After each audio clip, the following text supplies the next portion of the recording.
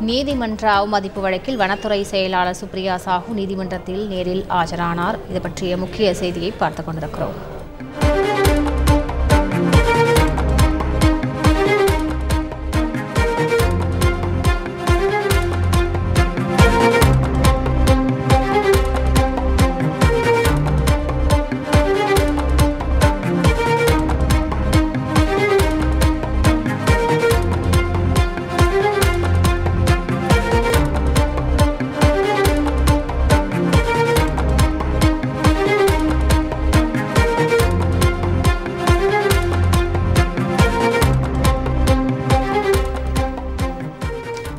விவரங்களை செய்தியாளர் மாரிசாமியிடம் கிட்லாம் மாரிசாமி வணக்கம். இந்த வழக்கின் பின்னணி என்ன மாரிசாமி விவரங்கள்.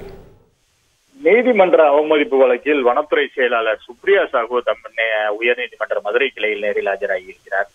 ஆஹ் நீதிபதிகள் தங்களது கருத்துக்களை தெரிவித்திருக்கிறார்கள். நீதிமன்ற அவமதிப்பு வழக்குகளில் அதிகாரிகளை நேரில் வரவழைக்க வேண்டும் என்பது எங்கள் நோக்கம் அல்ல என நீதிபதி கருத்தினை தெரிவித்திருக்கிறார். அதுபோக பணியாளர்களுக்கு நீதி கிடைக்க வேண்டும் என்பதே எங்கள் நோக்கம் என்பது பெரும் நீதிபதி தங்கள் கருத்தை தெரிவிக்கிறார். அதுபோக கல்வித்துறைக்கு அடுத்தபடியாக வனத்துறையில் தான் அதிகப்படியான நீதிமன்ற அவமதிப்பு வழக்குகள் தாக்கலாகின்றன எனவும் தனது கருத்தினை தெரிவித்திருக்கிறார் நீதிபதி.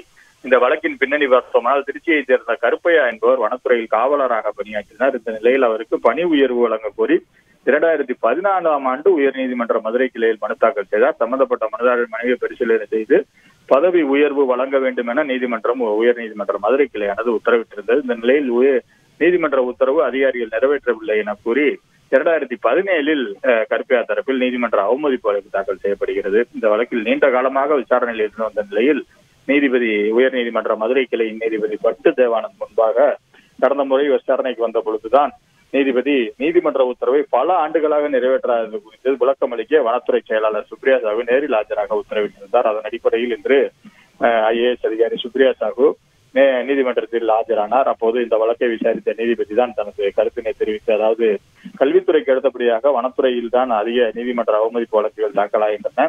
அதிகாரிகளை நீதிமன்றத்திற்கு அலைக்கழிக்க வேண்டும் என்பது எங்கள் நோக்கமல்ல கீழ்நிலை பணியாளர்களுக்கு நீதி கிடைக்க வேண்டும் என்பதே எங்கள் நோக்கம். பல ஆண்டுகளாக நீதிமன்ற உத்தரவை நிறைவேற்றுவதற்கு ஏன் தாமதமாகிறது? நீதிமன்றம் பிறப்பிக்கும் உத்தரவுகளை அதிகாரிகள் முறையாக நிறைவேற்றினாலே அவமதிப்பு வழக்குகளின் எண்ணிக்கை குறைந்து விடுமே என்றெல்லாம் தெரிவித்திருக்கிறார்.